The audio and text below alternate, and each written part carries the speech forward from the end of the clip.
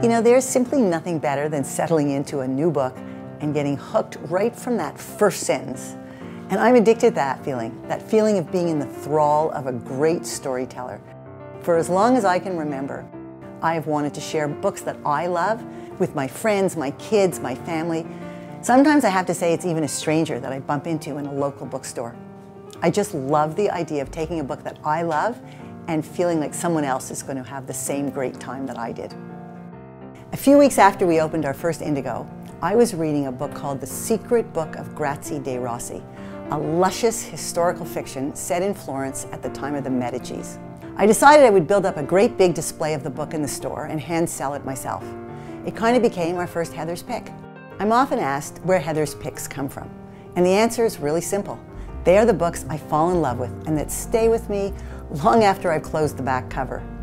You know, Heather's picks, they're like my literary kids. It's hard to pick the few best. If I had to name a few from over the years, Shadow of the Wind by Carlos Ruiz Zafón, Glass Castle by Jeannette Walls, I just can always remember where I was when I read that.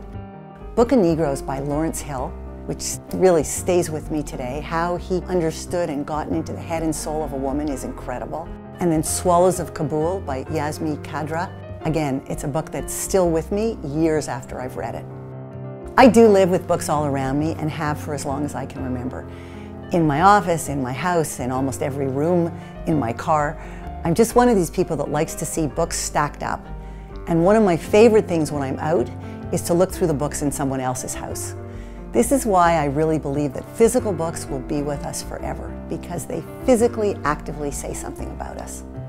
Know, I almost always give books as gifts. Sometimes it's just a single book. Sometimes the book is part of a bundle inspired by the occasion or an actual book.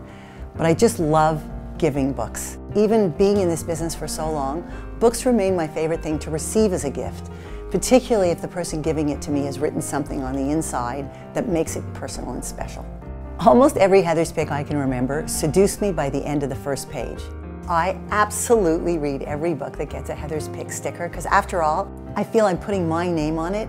I owe it to people to really believe in the books I pick and I do believe in them. These are the books that I read and just totally love, love, love.